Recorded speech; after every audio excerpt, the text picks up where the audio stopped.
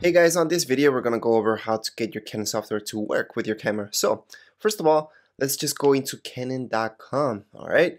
So let me just go back for a second on the page so I can show you where to go. Exactly, okay, so you're gonna go into canon.com, support, and then you guys will click on drivers, alright? So, then you guys will get this page. In this page, just start typing in what camera you guys have. In this case, I'm just gonna type in T3i, alright? And then just click on your camera, go and then you guys will see your system preferences right here. And just make sure you're downloading the appropriate ones. Right now we're in high sierra all right? And here we go. So utility 2.14 should work. So we're gonna select that and then we're gonna download.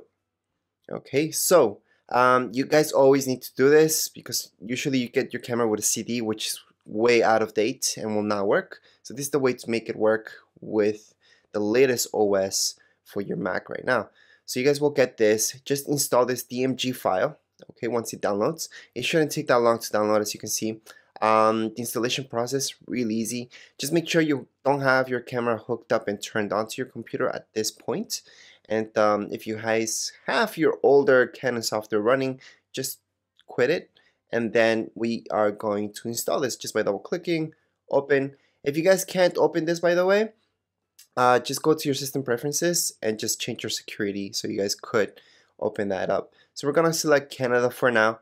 Um, again, you guys can just click OK. All right, just make sure everything's closed. And here's our utility too. So here it is, it's closed. Just make sure. Um, we're gonna click on install. then yes again, and of course you guys may need a password if you guys have a set password for your Mac. If you don't, just click OK. And we're gonna wait. This whole installation process shouldn't take you guys more than 30 minutes if you guys have really, really slow internet. Uh, other than that, it's gonna take you guys about 15 minutes max. If you guys can't find appropriate software for your camera, so let's say, for example, you guys have a Canon T5i and um, you guys just don't see the options for High Sierra right now on the Canon.com website, which by the way, doesn't matter which country you guys are at, you guys can download software from there. Uh, so let's say you guys don't see that, don't worry about it, just type in T3i and that will actually work with your Canon T5i and that actually goes to a ton a ton of cameras. So you guys can't find your camera don't worry about it just download the exact same software that I'm downloading right now and you guys should be okay.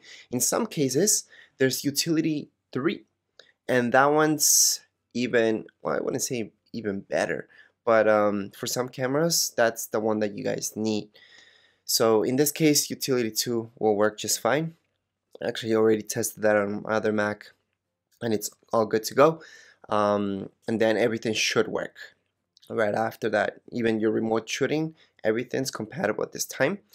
Um, just in case there's another OS gonna come out a few months later don't update your Mac until you know all your software is gonna work with the latest OS alright so once we're done installing that's pretty much it all you guys need to do is open it up and download or remote shoot or do whatever you guys want.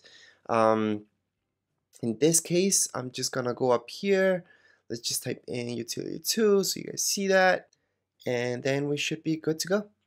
Alright um, in some cases you guys may need to restart your Mac but in most cases you don't. This will right away let you download and select your downloads your images and you're ready to go Anyways, if you guys have any questions, comments, you can write them down here below in the comments area. And don't forget to subscribe and rate. Thank you.